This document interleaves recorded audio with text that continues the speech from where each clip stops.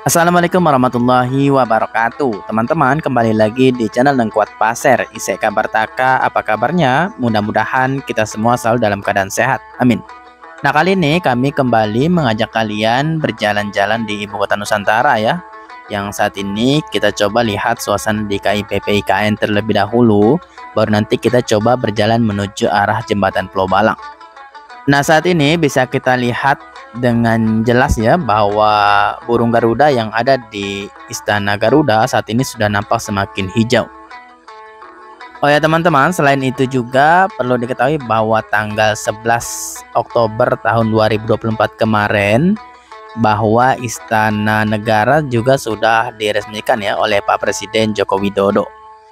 Nah, nanti tinggal menunggu uh, peresmian Istana Garuda ya yang dilaksanakan pada masa kepemimpinan Pak Prabowo. Saat ini kita sudah berada di jalan menuju ke arah Jembatan Pulau Balang ya. Yang sebelah kanan kita ini merupakan Nusantara Airport ya atau Bandara IKN. Nah, jalur ini merupakan jalur uh, ke arah Pulau Balang ya. Baik itu yang bentang pendek maupun bentang panjang. Nah, di atas ini juga kita bisa lihat ada jembatan ya, teman-teman, yang menembus atau mengarah ke Nusantara Airport. Nah, kita melewati bagian bawahnya. Di sini kondisi jalan juga sudah semakin mantap ya dengan cor beton yang saat ini teman-teman bisa lihat secara langsung kondisinya ya dan tembus sampai ke lokasi uh, jembatan Pulau Balang. Kalau pada video sebelumnya kita melihat uh, simpang tiga Riko ya yang juga mengarah ke jembatan Pulau Balang, kemudian mengarah ke KIPP IKN dan juga ke pusat pemerintahan Penajam Pasir Utara. Di lokasi ini memang kita bisa menemukan banyak kendaraan proyek juga ya teman-teman.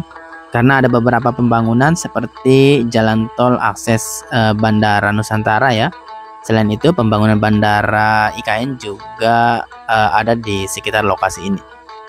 Nah, kita lanjut ya teman-teman ke bagian depan yang di sebelah kiri kita bisa kita lihat ya. Ada banyak juga dump truck yang uh, berada di lokasi ini ya. Nah, nampaknya sedang istirahat ya teman-teman.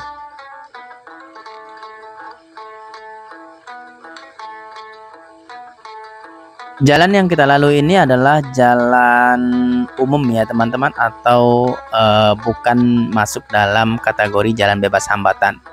Tetapi dari arah jembatan Pulau Balang menuju ke arah KIPP IKN itu juga saat ini sedang dibangun jalan bebas hambatan ya. Di antaranya jalan bebas hambatan seksi 5B yang tembus ke jalan bebas hambatan eh, seksi 6A ya kemudian tembus lagi menuju ke jalan bebas hambatan seksi 6B sampai nanti ke 6C ya yang dekat dengan KIPP IKN.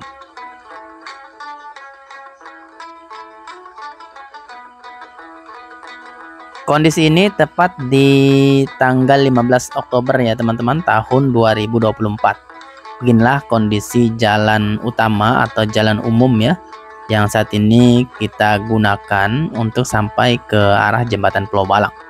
Nah, nanti dalam beberapa tahun ke depan kita coba lagi untuk melihat ya perkembangan di sekitar jalan ini ya atau jalan menuju ke arah jembatan Pulau Balang yang bukan eh, kategori jalan bebas hambatan.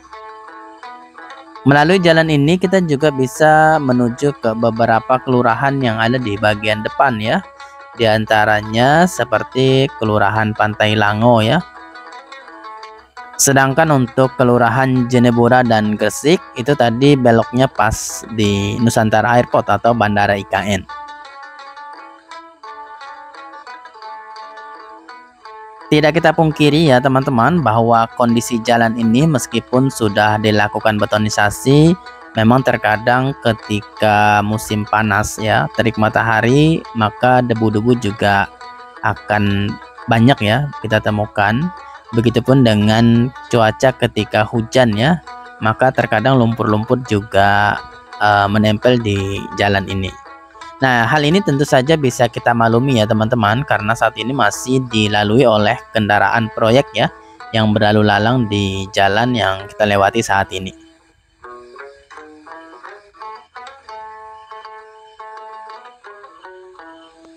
Nah, saat ini kita sudah berada di jalur 2 menuju ke arah jembatan Pulau Balang ya. Tepatnya jembatan Pulau Balang bentang pendek. Nah, ini yang di sebelah kirinya, kemudian sebelah kanan itu juga ada jalan, teman-teman. Sebelah kanan kita ya, dan kondisi jalan di sini juga cukup lebar. Nah, bagi kalian apakah ada yang sering melewati jalur menuju Pulau Balang ini? Nanti bisa tinggalkan komentar ya di kolom komentar. Melalui jalur ini juga kita bisa e, memangkas waktu tempuh ya menuju kota Balikpapan melalui jembatan Pulau Balang, baik itu jembatan Pulau Balang bentang pendek ya, maupun jembatan Pulau Balang bentang panjang. Hanya saja saat ini masih belum dibuka untuk umum. Nah, selain melalui lokasi ini atau jalan jembatan Pulau Balang ini untuk sampai ke Kota Balikpapan kita juga bisa melewati Kelurahan Penajam ya atau melalui uh, pelabuhan Speed, pelabuhan Klotok maupun pelabuhan Peri ya. Atau kita juga bisa melewati Kilo 38 Samboja. Tapi akses jalan yang cukup dekat untuk sampai IKN yaitu melalui jalur yang kita lewati ini.